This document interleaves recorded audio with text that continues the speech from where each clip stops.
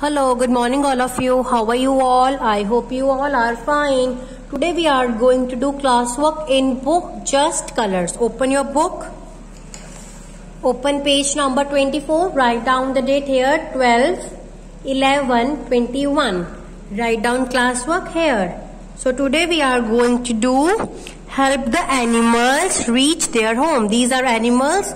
So we should help them to reach their home. Now start this one this one go this one this one.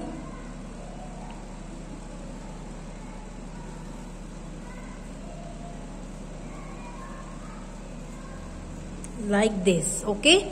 Complete page number 24 now next page number 25 write down the date here. 12 11 21 write down classwork this side.